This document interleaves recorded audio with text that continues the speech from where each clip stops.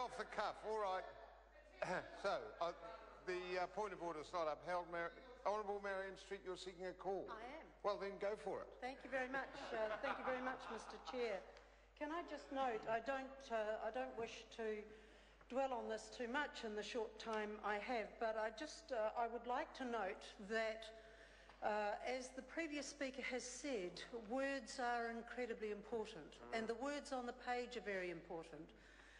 But sarcasm and dripping uh, bile and venom delivered against people who are not in this House to defend themselves is not what one would call parliamentary behaviour.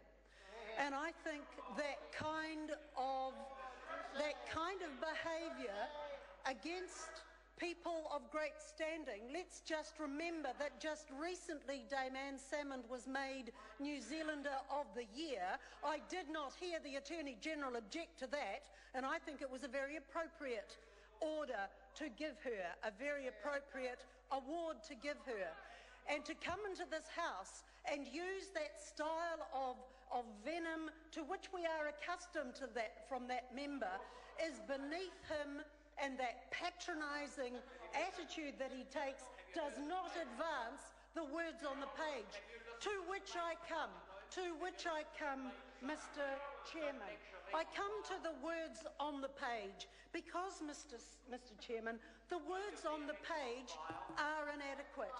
And let me speak about this. I want to talk about, I want to talk about uh, SOP 205 in the Minister's name.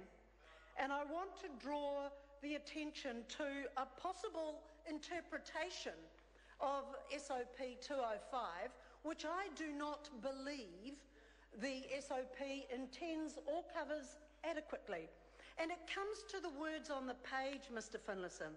The words on the page say, the page I'm reading, which is printed in the Bill's Digest, says the area of the non-interference zone to which the activity relates, and we're talking about the banning of protest activity within, uh, within this non-interference zone of uh, structures or ships that, uh, to which the activity relates, in other words, those that are uh, working at oil exploration uh, and such activities.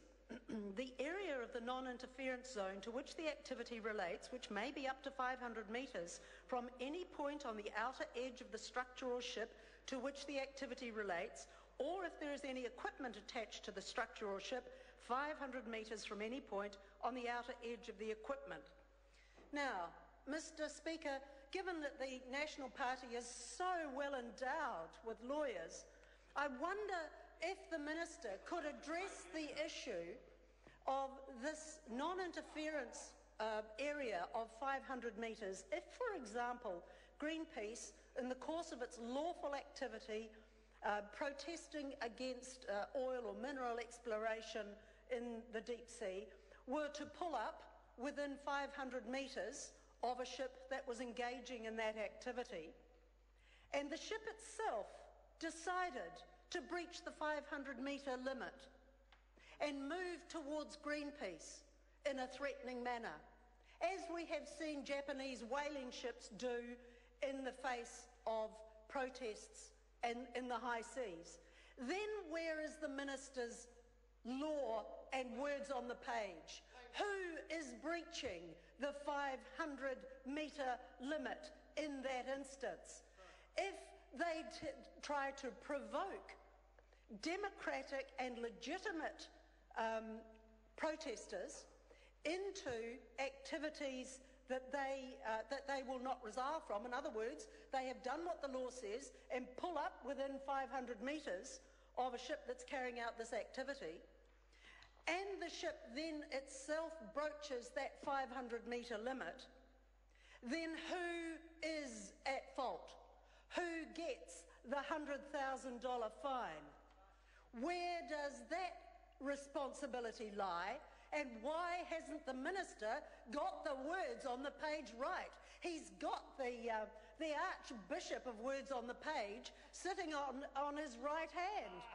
And uh, really, quite frankly, I would think, I would think Cardinal something, Cardinal something, I might come to that at a later speech on another subject perhaps. Cardinal something.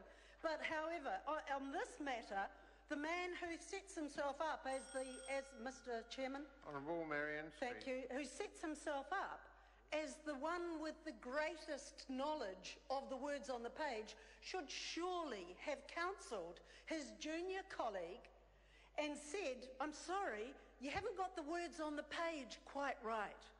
But in addition to that, that carelessness, that sloppiness of drafting, what we see from this, because the words on the page are not accurate, are not sufficient, we see the actual design of this SOP. I would have supported uh, Gareth Hughes' procedural motion earlier this evening, which was not allowed by the House, to have this SOP referred back to the Select Committee so that people could tease it out and see whether or not, whether or not it was appropriate. But this minister clearly didn't want public scrutiny of this because, as Paul Buchanan said of the Prime Minister just last week, he said this behaviour might be appropriate when he was talking about the Prime Minister and, and his poor oversight of the GCSB. He uh, said this behaviour may be appropriate. Order, order, order. Now, now, members can use examples, but I just, I just need to say right at the start, we are actually uh, debating the Crown Minerals Permitting Bill, and, and we're not going to extend into other debates. Right, Honourable Maryan thank, Street. Thank you, Mr. Mr. Chairman, and I wasn't intending to. I simply wanted to quote Paul Buchanan because he said the Prime Minister's cavalier behaviour might be appropriate for the CEO of a private company but it is not appropriate for the Prime Minister of a democratic nation. And I think this is the point that the Minister is missing with this SOP.